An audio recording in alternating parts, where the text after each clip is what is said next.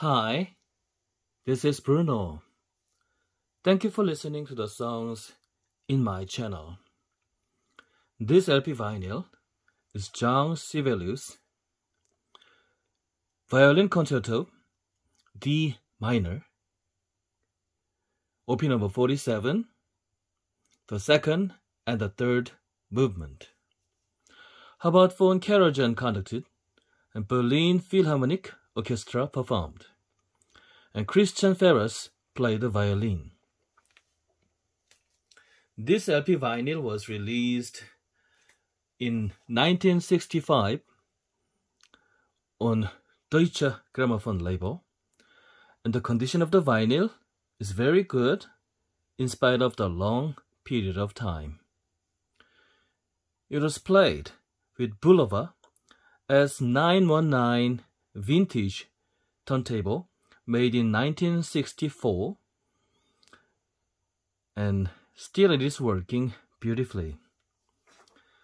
And it is a very interesting match because this LP vinyl was released in 1965 and this turntable was just one year earlier, 1964, made. So this is a very interesting match. Also, I think this Sibelius violin concerto op number 47, especially the second movement, is really good song for a rainy day. So in Korea, it is raining for the two for two days, and I think tomorrow it'll, it'll be also rainy. So in this kind of rainy days, this Sibelius violin concerto, the second movement, fits really well for this kind of rainy day. That's just my opinion.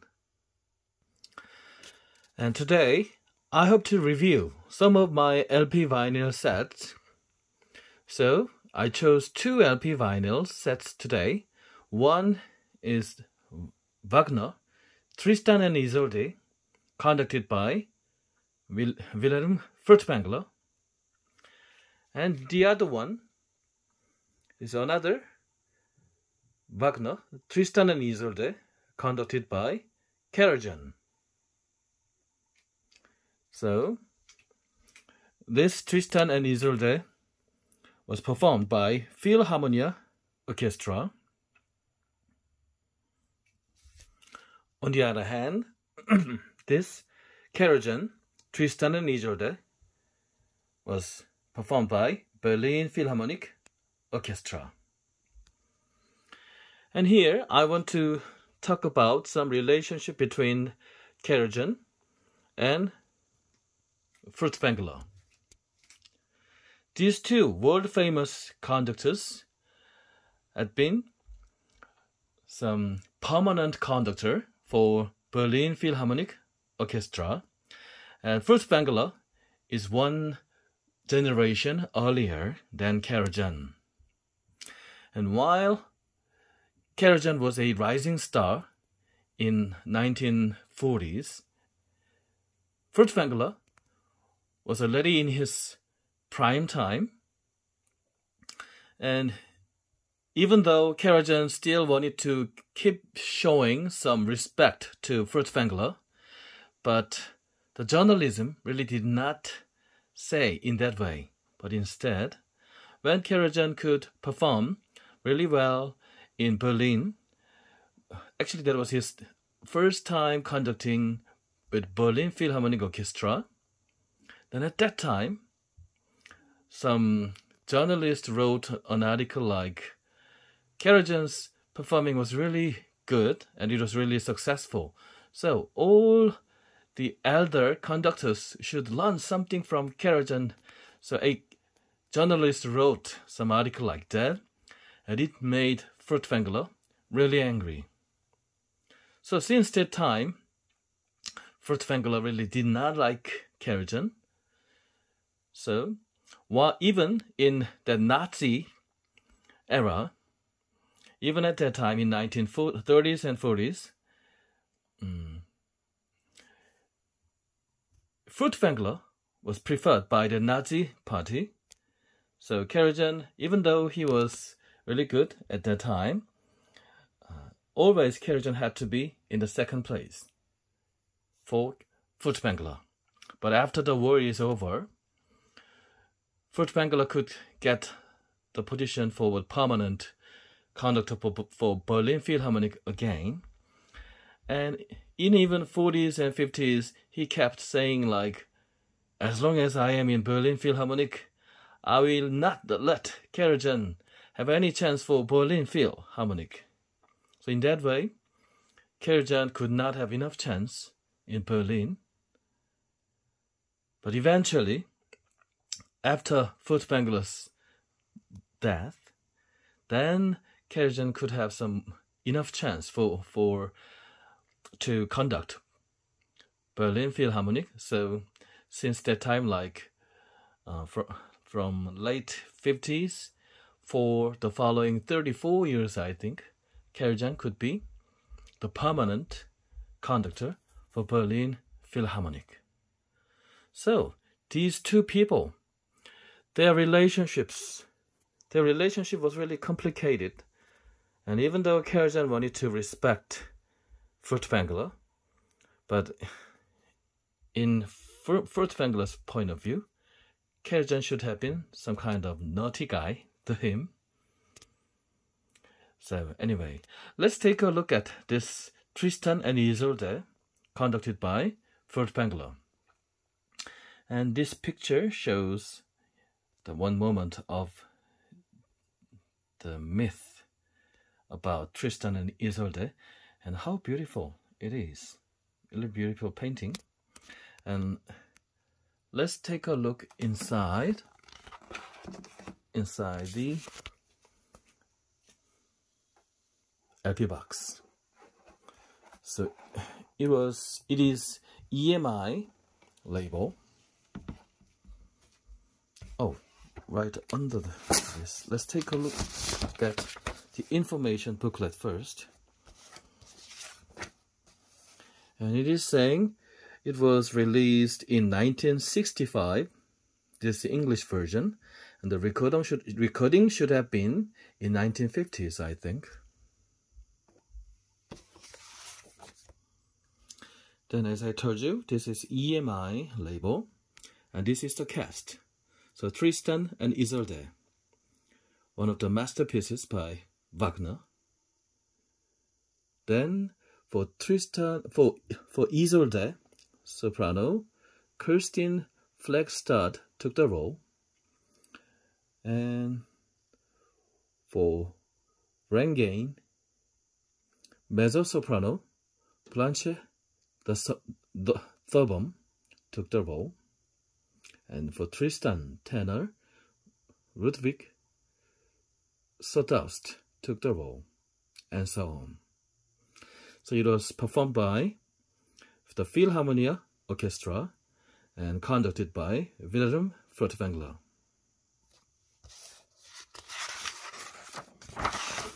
And in this is the next page, the story of the opera. So synopsis is written on here. So as you know, the story of Tristan and Isolde thrives from a saga of a great antiquity. So on the left side, I think this is German. And on the right side, it is written in English. So there are the lines left two and side six and still going on side 8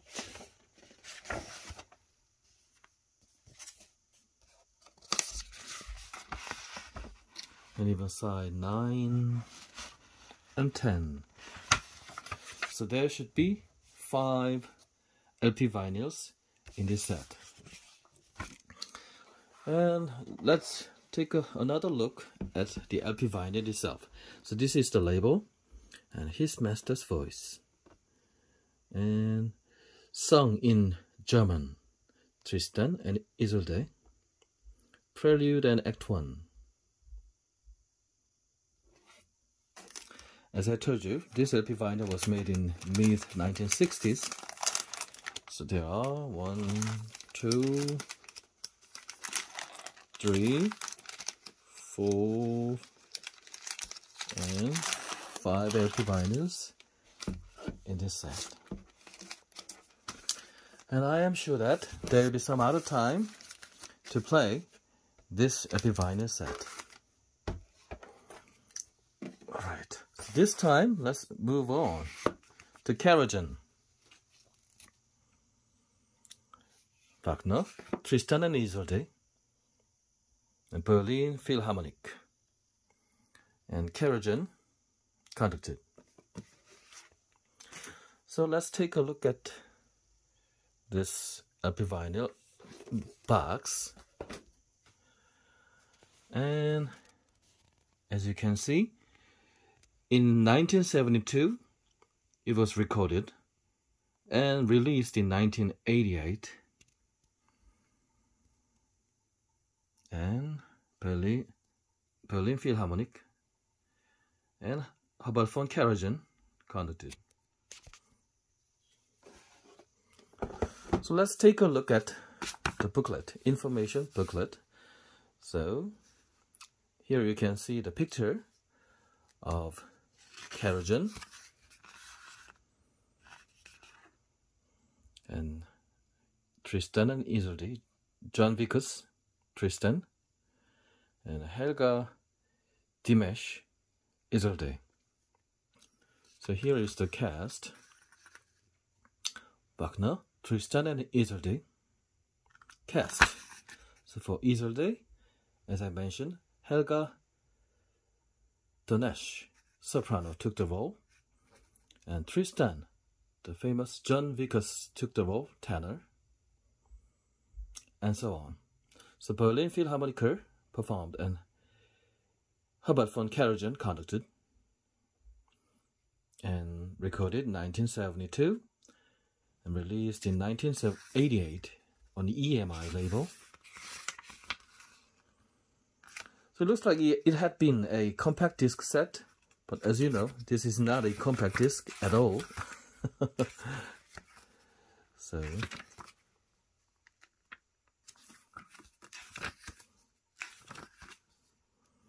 I don't understand why the story about compact disc is in here anyway.